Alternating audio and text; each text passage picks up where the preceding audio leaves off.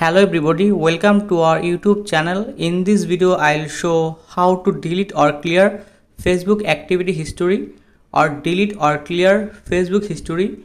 If you want to delete or clear your Facebook activity history or delete or clear your Facebook history, so let's see how to do that. I'll show some steps. You can follow my all steps. So don't skip this video, watch full video and please subscribe this channel so first of all go to your google play store here you can see google play store open it and then search facebook.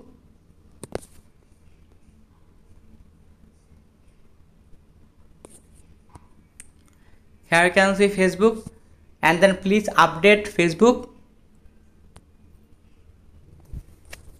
After that update and then open it here you can see your facebook account. And then you can see right top corner three button option click on it. And then scroll down. And then you can choose settings and privacy. Click here. And then choose settings. So click here settings. And then scroll down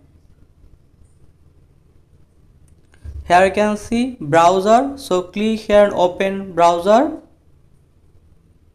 Browsing data. Clear your devices cookies and cache from websites you have visited while using the facebook mobile browser. Your browsing data. And then you can see clear. So click on it clear. Here you can see last clear today at 2:50 am then go back and then scroll down.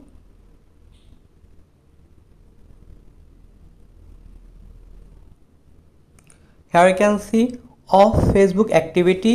So click here and open off facebook activity. And then scroll down.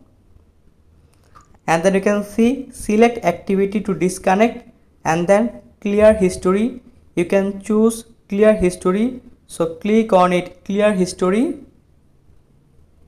Clear history. Clear your off facebook activity from your account. And then you can see clear history or cancel option. You can choose clear history. So click here clear history.